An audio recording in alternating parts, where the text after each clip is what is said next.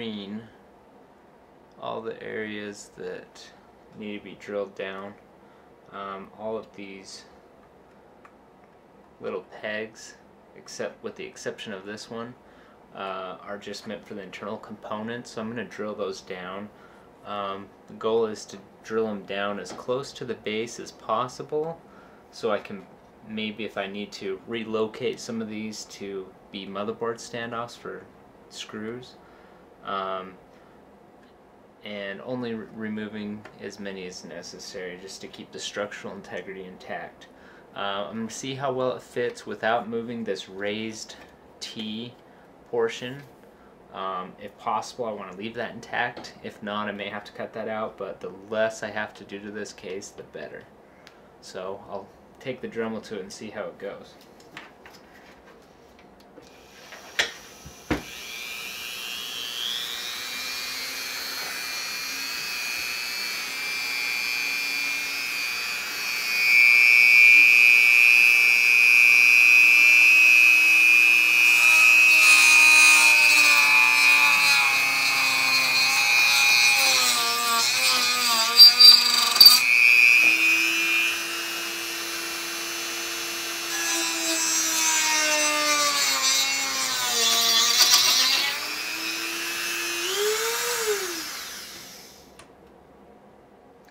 So there's one peg down.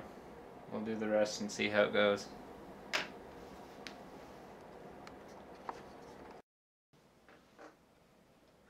So now that I have the inside cleaned out, I've uh, marked some holes where I'm going to drill the mounting location for the board and hopefully that works out. I've got only a little bit of clearance with the feet on here so I'll have to use some low profile screws to hold it into place. We'll see how, how that goes.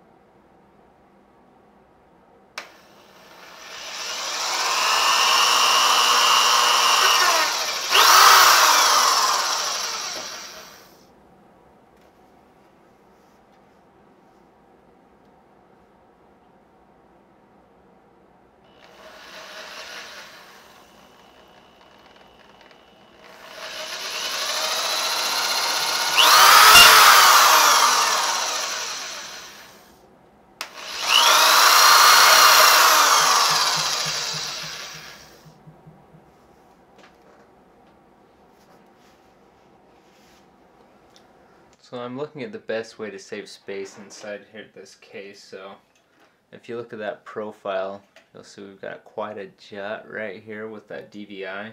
So I'm gonna get my soldering iron and uh, desolder this DVI port, see if I can get that to come off cleanly. And uh, since we won't be using the DVI port at all in this build, I guess I should be able to heat those solder joints off up and, and get the DVI socket off to give us a little bit more room to work with.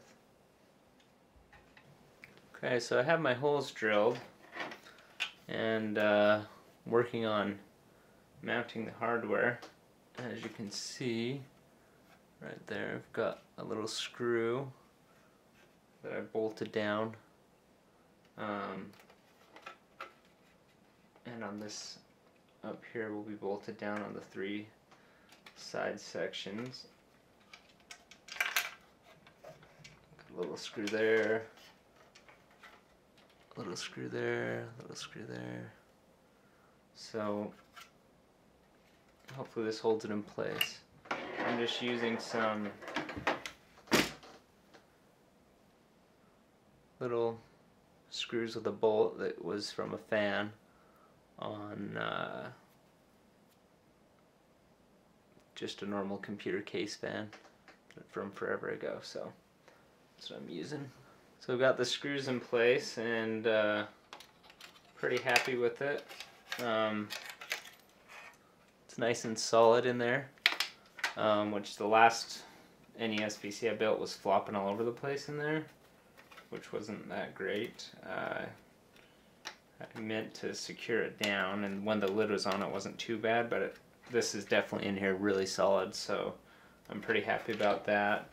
Um, I didn't intend to open this back port all the way, but I didn't see any other way to do it.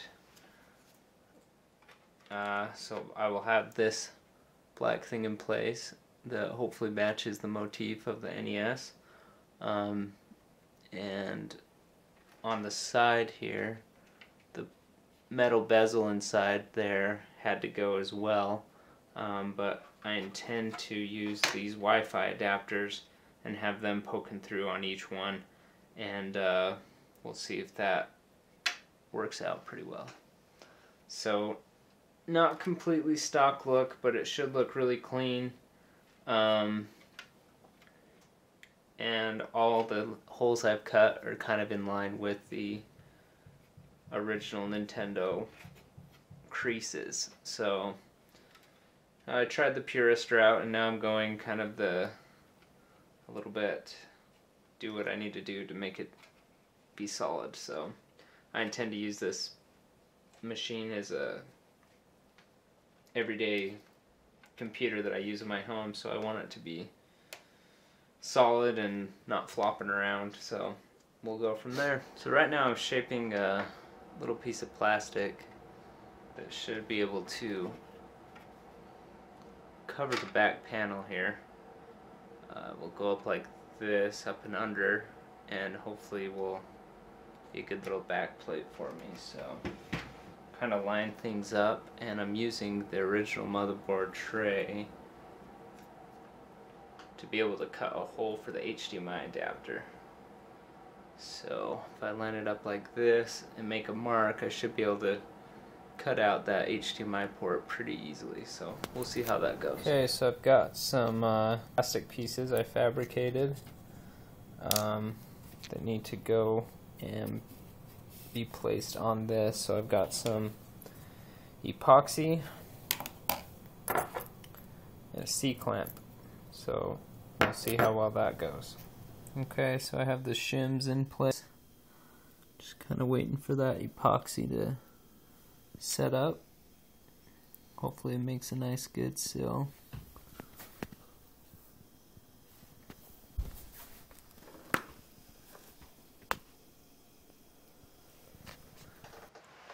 Okay, so I've got my standoffs installed, uh, epoxied down, and I'm going to do a test fit and see if everything works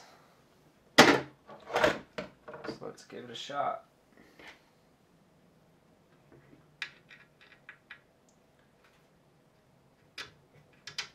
Putting in the base screws to hold the motherboard down.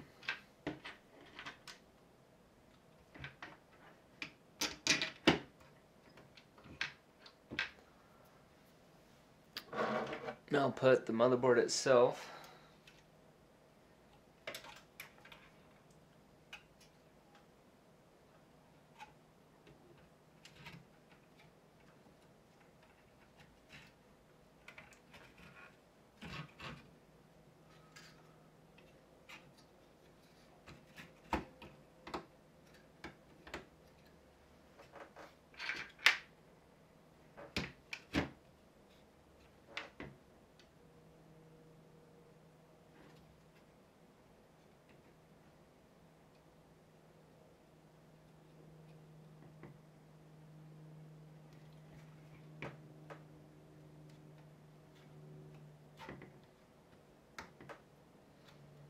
Seems to be lined up pretty well.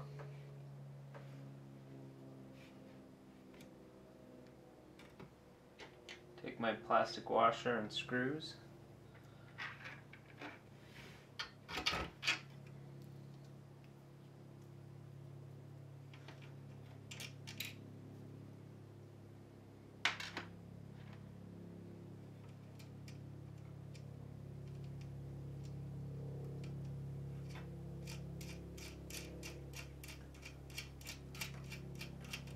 Order to make the holes to drill, I just had the motherboard lined up and used a Sharpie and uh, pushed the Sharpie down through the holes to let me know where I should drill. I won't tighten these down too hard since I probably will have to take it out again to do further miscellaneous finish work.